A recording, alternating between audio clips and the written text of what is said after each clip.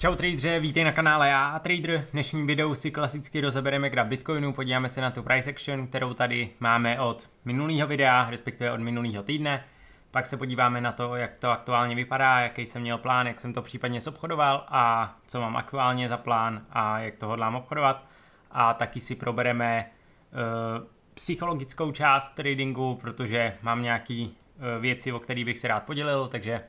jdem na to.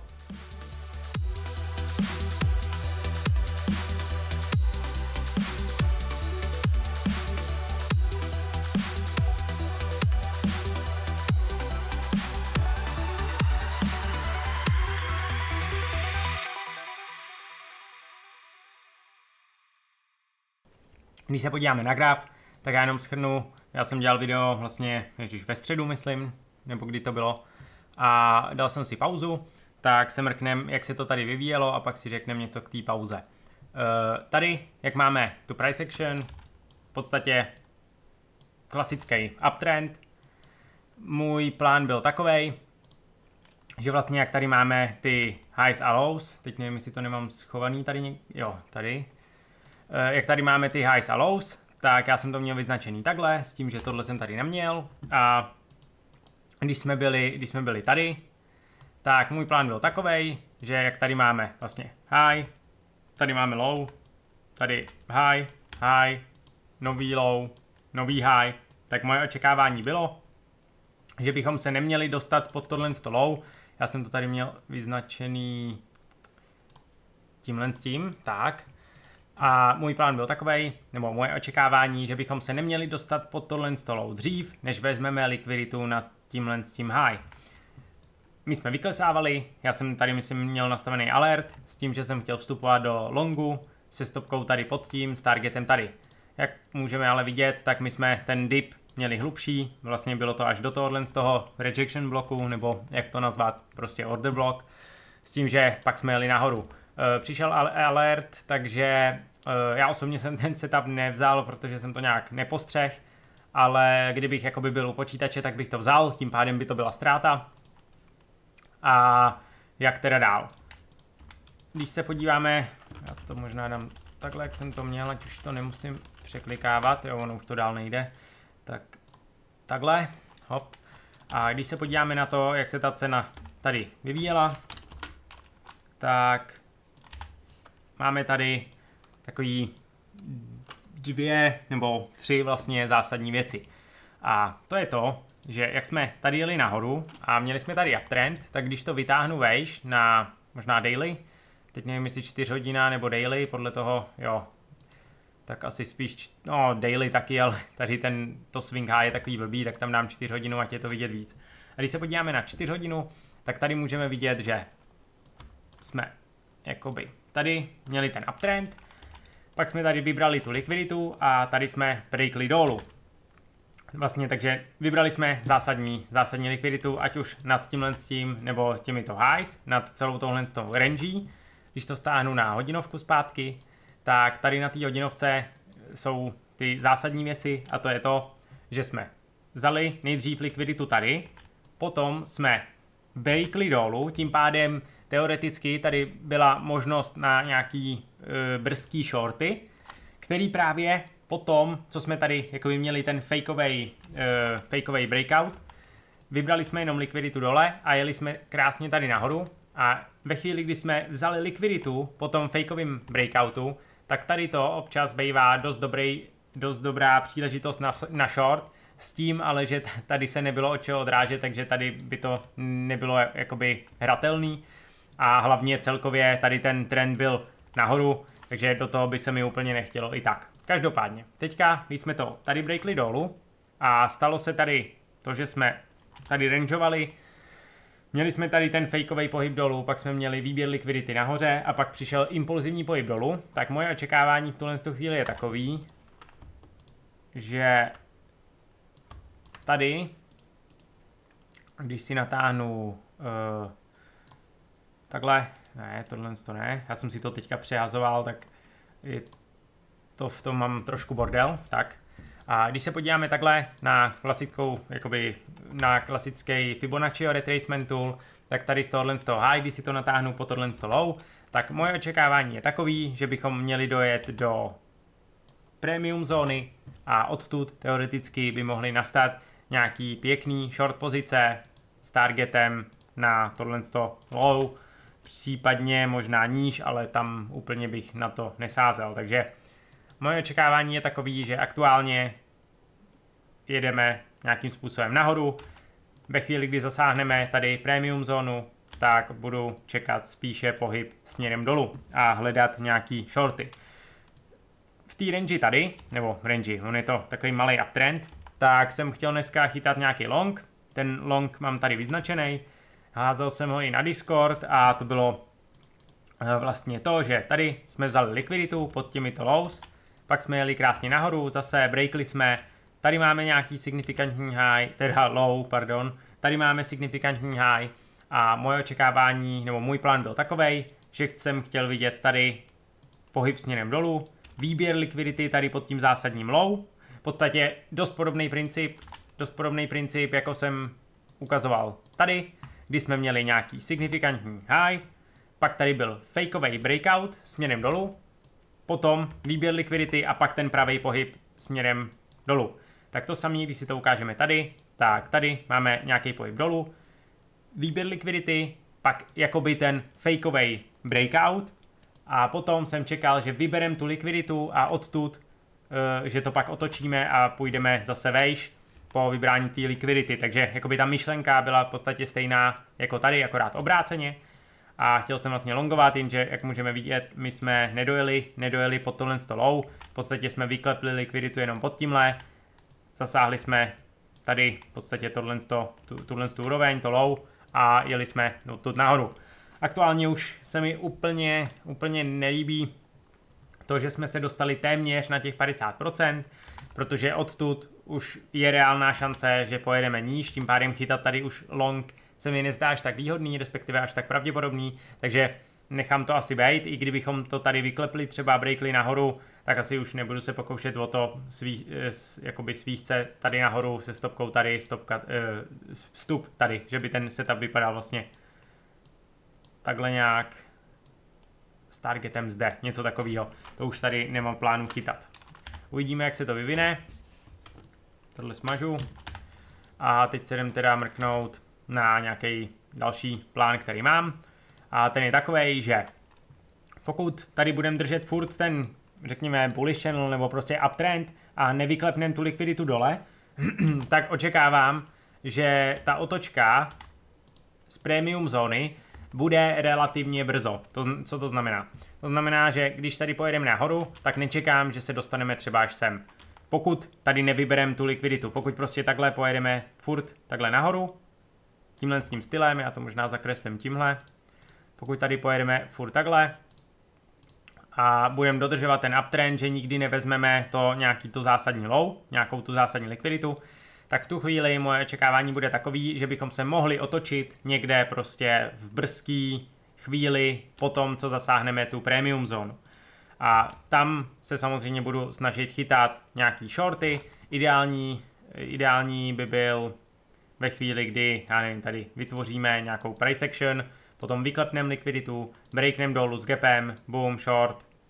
s targetem, bude záležet, jak to bude vypadat. Stopka tady, vstup že jo, z gapu, a target, pokud to bude možný, tak třeba tady ta úroveň a pokud to risk ratio nebude umožňovat, tak samozřejmě klasika to low, který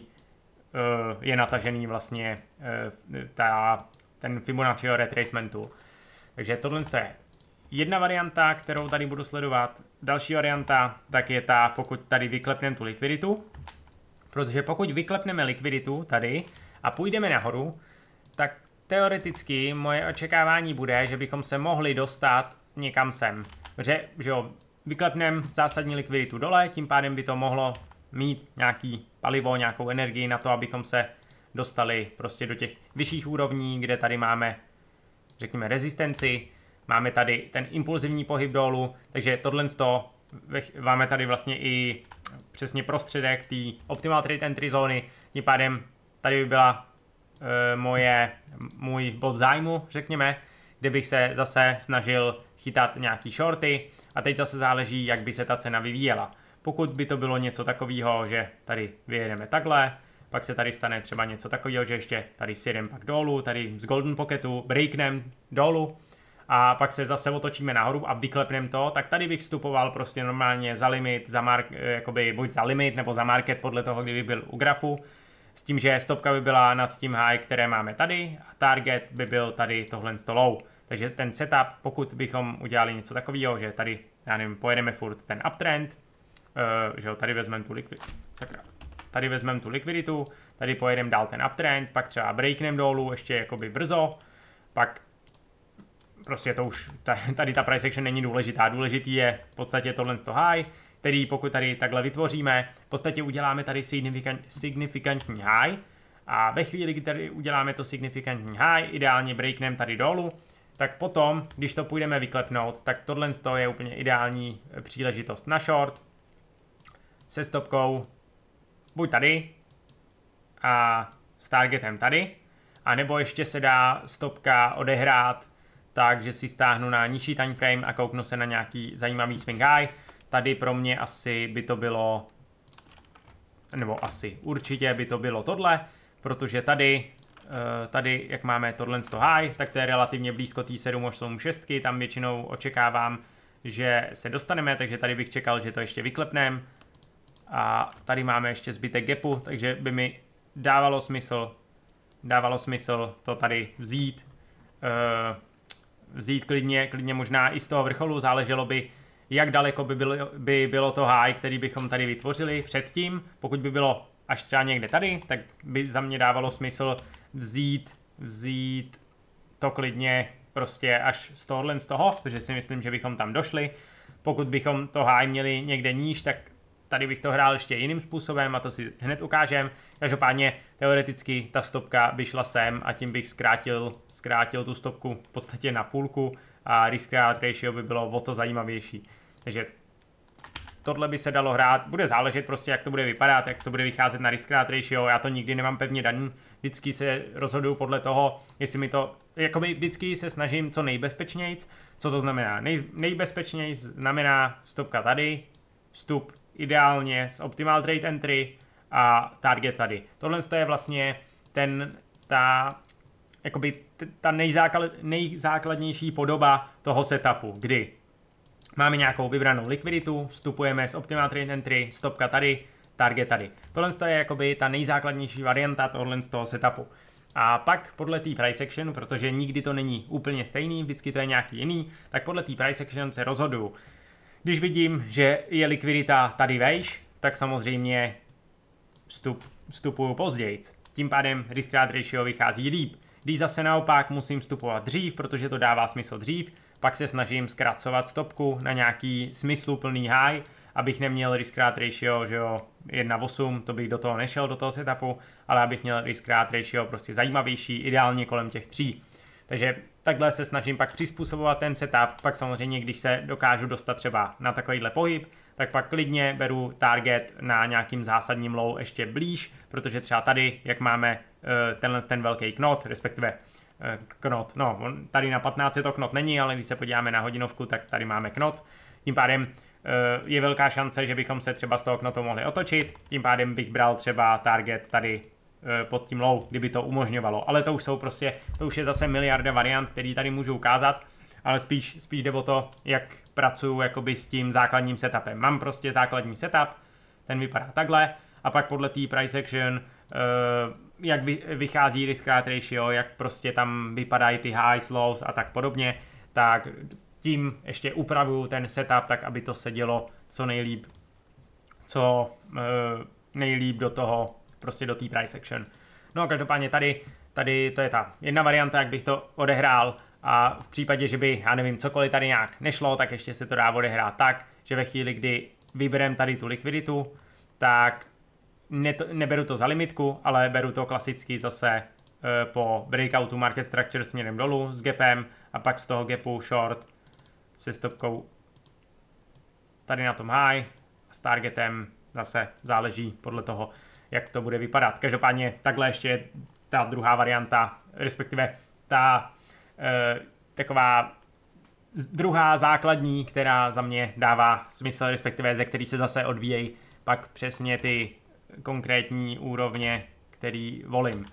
Tak, to je všechno. A teďka, teďka vlastně to je celkový moje očekávání, ještě abych to teda schrnul, tak si to můžeme vzít celkově z těch uh,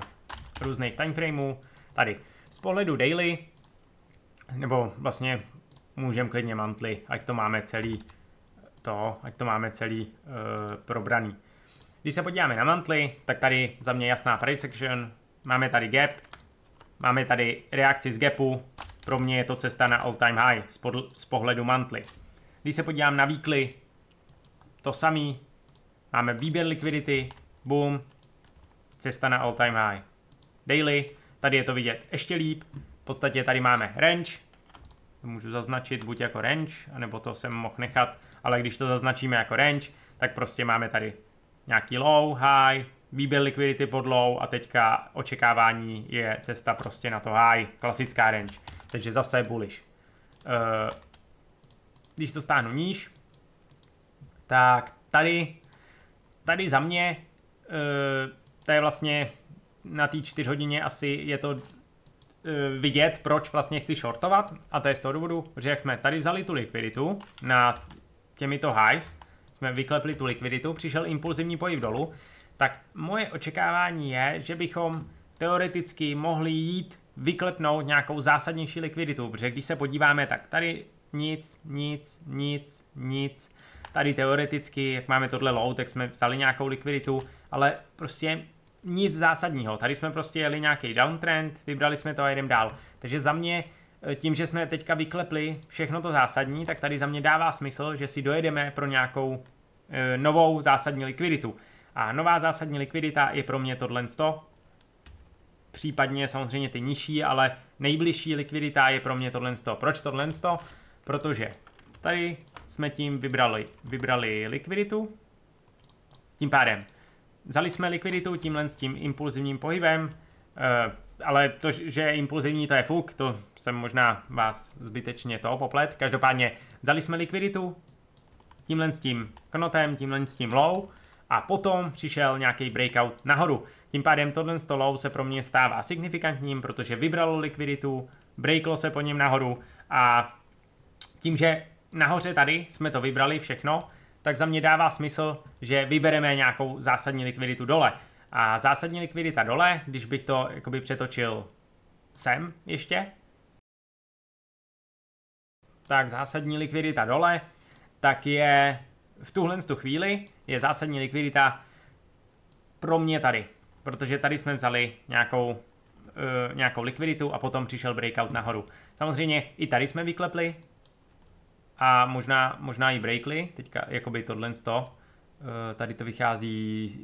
71700 a tady to máme close, ne, nebreakli jsme, takže tady jsme nebreakli, Každopádně, i kdybychom breakli, tak stejně pro mě spíš bude signifikantní jakoby to nižší, protože tady jsme měli, no i když jo, jo, bral, bral bych to, jakoby tady, jak jsme vybrali tu likviditu, tak tohle low teoreticky mohlo být taky signifikantní, pokud bychom breakli nahoru.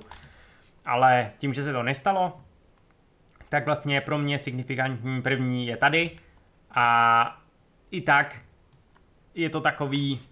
nic moc, radši bych viděl prostě Tady, jak máme třeba ten pohyb dolů, tak tady, jak jsme to vybrali, tak tohle je pro mě jasný. Případně tady byla nějaká range, kterou jsme vybrali a jeli jsme nahoru, takže spíš bych chtěl vidět vybraný jedno z těchto dvou. Ale tím, že my jsme tady vytvořili tuhle price section, tak tady se nám vytvořilo, tady se nám vytvořilo nový signifikantní low, protože vzalo likviditu a breaklo nahoru, tím pádem tohle je pro mě teďka uh, to, který by mohlo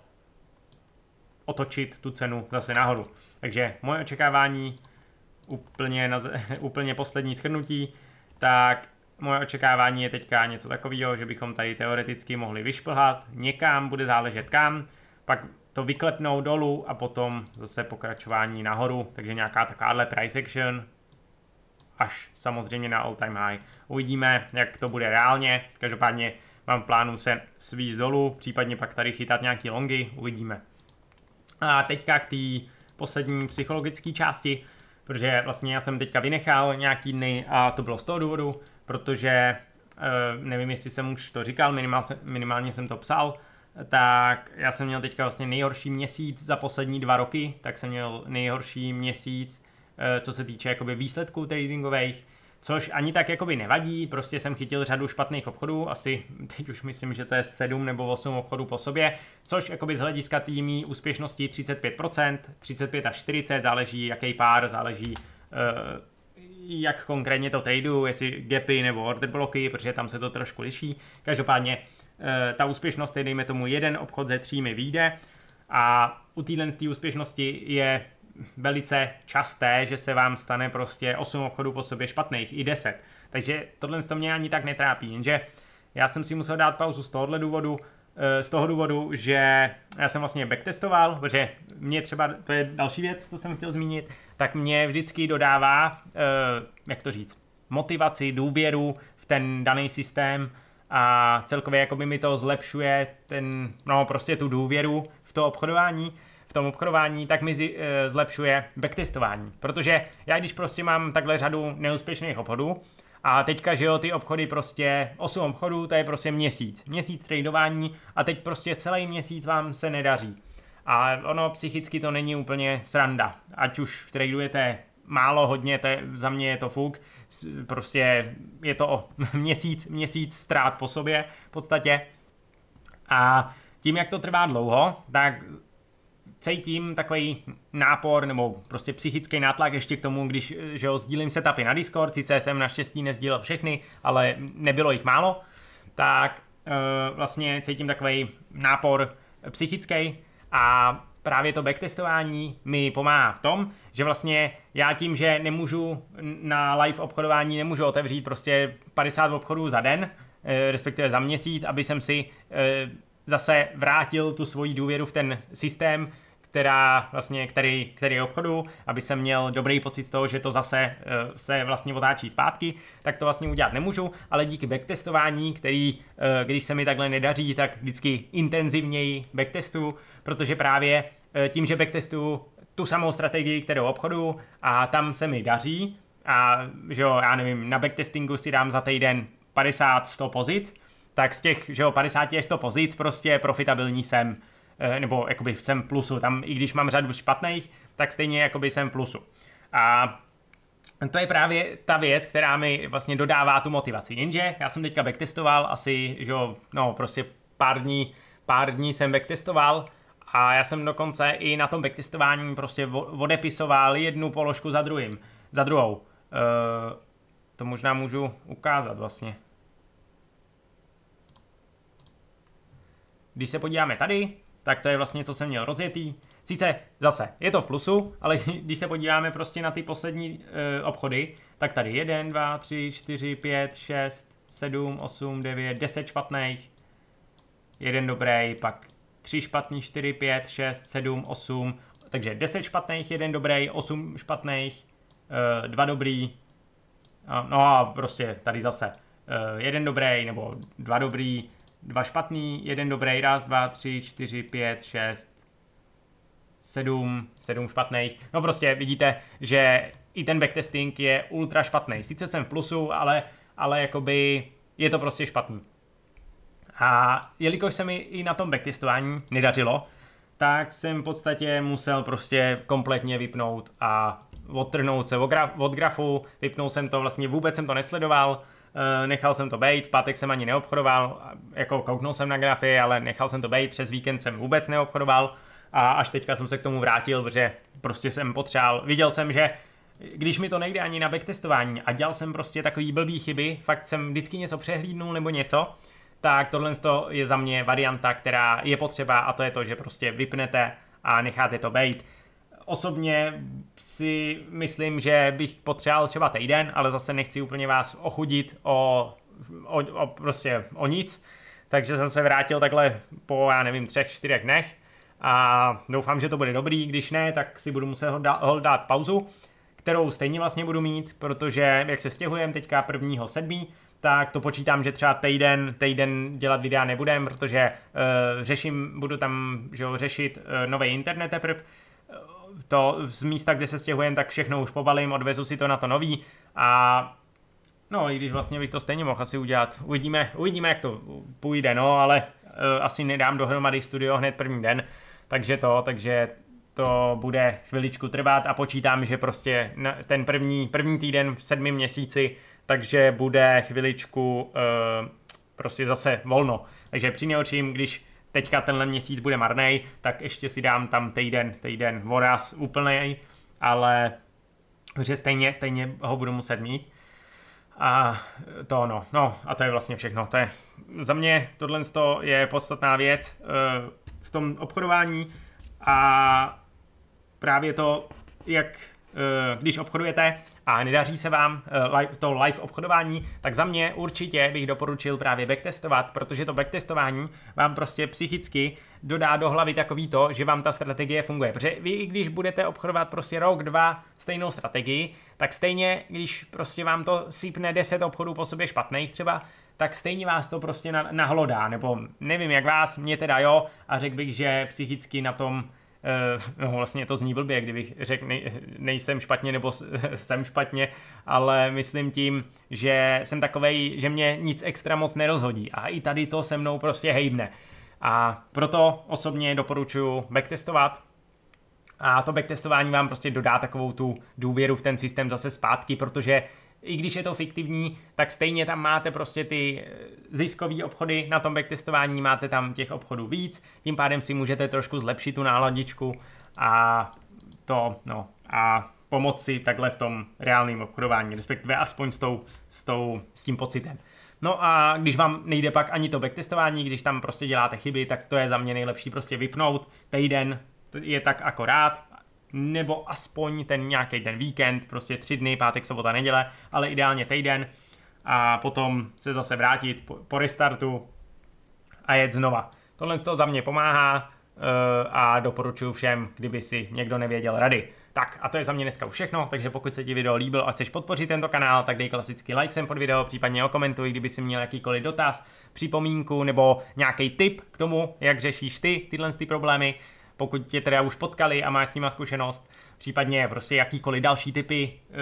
k tomu, co jsem tady říkal, jestli máš, nebo sdílej, aby se dostalo i k těm, koho by tento obsah mohl zajímat a pokud tě zajímá více ze světa kryptoměn nebo tradingu obecně, tak dej odběr a aby ti nic neuniklo, klikni na zvoneček. Já se pro dnešek loučím a dneska zeleným svíčkám zdar!